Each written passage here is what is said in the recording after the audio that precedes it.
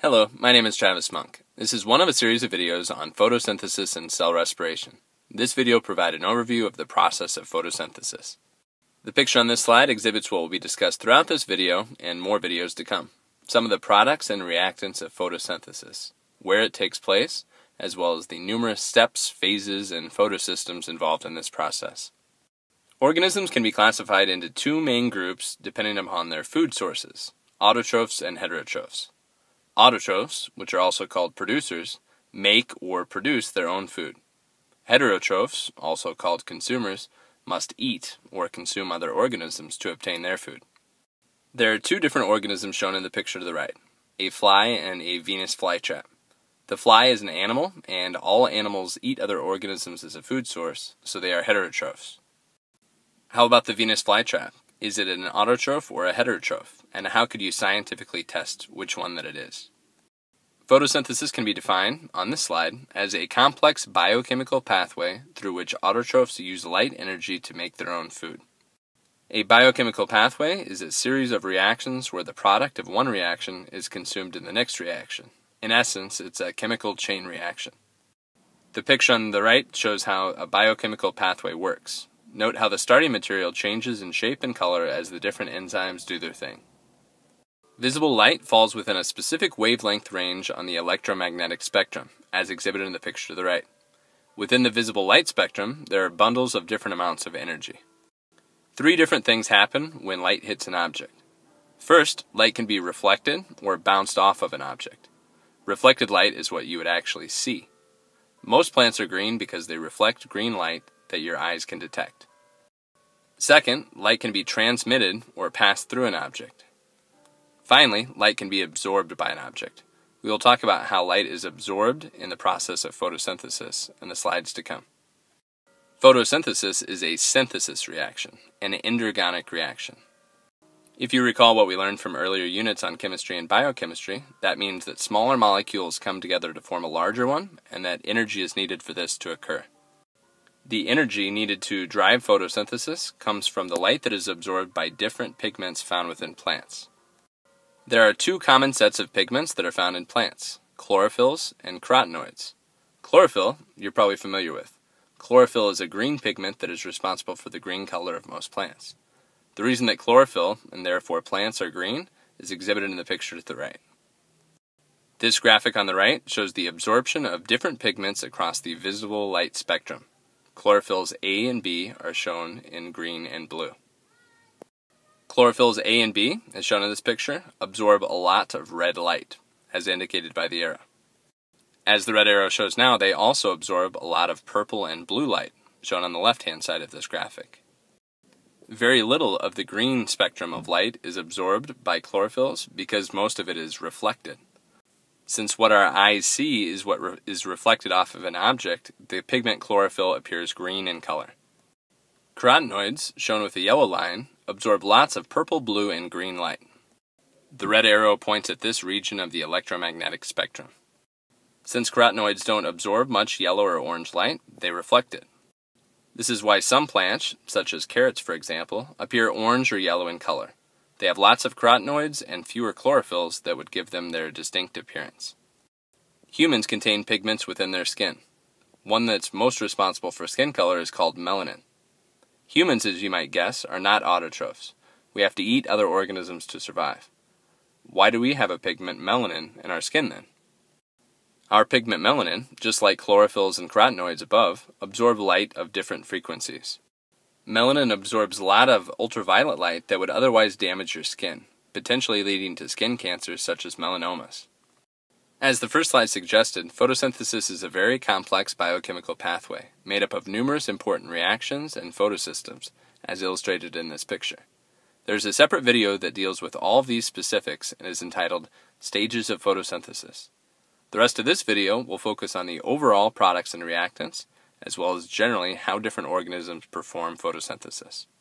One of the most important things about photosynthesis is that it is the process by which plants make their own food, which is sugar or glucose. There are, however, two important reactants and two important products of this process from start to finish. The reactants, or what is needed to fuel the process, is shown on the left. CO2 or carbon dioxide and H2O or water are both needed. As mentioned earlier, light is the driving force, the energy source that is used to make this chemical reaction happen. The products, or what comes out of the chemical reaction, are shown on the right.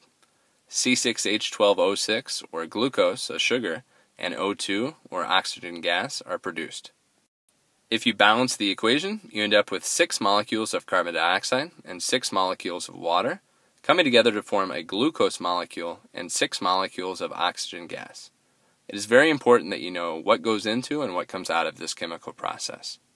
If you have trouble keeping track of the products and reactants of this chemical reaction, try looking at things this way. First, sugar is food, and plants need to produce it since they're autotrophs. Second, plants produce oxygen that we breathe in, so it also must be a product of photosynthesis. Third, plants need water to survive, so it must be a reactant. And finally, the carbon that makes glucose can't just appear out of nowhere, so there must be some source of carbon on the reactant side of this equation and carbon dioxide fits the bill. The last slide showed a balanced equation for what goes into and what comes out of photosynthesis. The picture on this slide might help provide a better visual for the process. Photosynthesis is carried out by autotrophs. There happen to be a lot of diverse organisms that are autotrophs, from redwood trees, which are plants, to green algae, as shown at the bottom of this picture, to photosynthetic bacteria.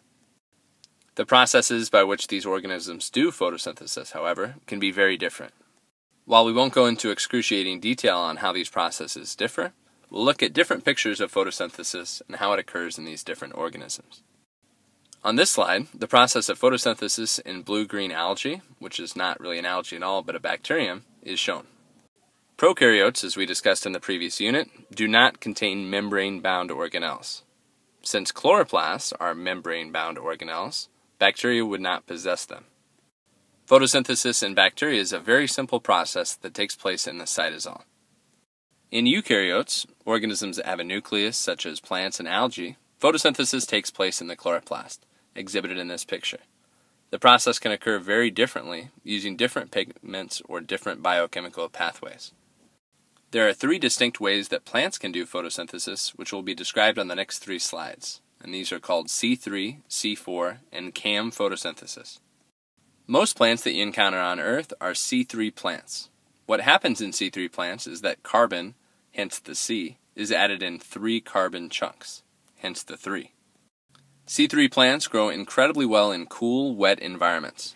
Most trees, such as the elm shown on the left side of this picture, would be an example of C3 plants. C3 plants keep their stomata, which are pores that allow oxygen and carbon dioxide gas exchange within the plants, open during the day. C4 plants are named the way that they are because they add carbon in four carbon sized pieces, hence the similar looking name.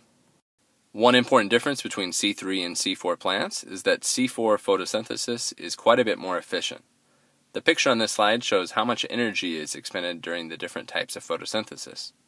The numbers at the bottom suggest that you end up with 60 kilojoules worth of sugar out of C4 photosynthesis compared to 46 kilojoules worth of sugar out of C3 photosynthesis, a difference of about 30%.